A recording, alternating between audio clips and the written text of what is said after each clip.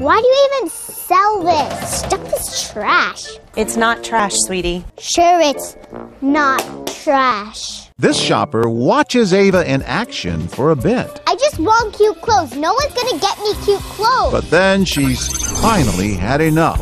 Because you're throwing things around like a little brat. Go. we have money. We need to spend it. Money is gonna make you have a miserable life. Well, I need cute clothes. Uh, we can have mom come out and say, uh, "Were you yelling at my daughter?" Were you yelling at my daughter? Yeah, I was. Because someone needs to discipline her. Yes. She's acting ridiculous. But now she's about to learn where Ava gets all that attitude. She was not acting ridiculous. So going like this to the floor. Sure. What are you doing? I'm doing what she was doing. Is that acceptable to do in a store? Don't tell me how to discipline my daughter. I will daughter. because you're doing a job. Really? Yeah, you are. Oh, really? Yeah.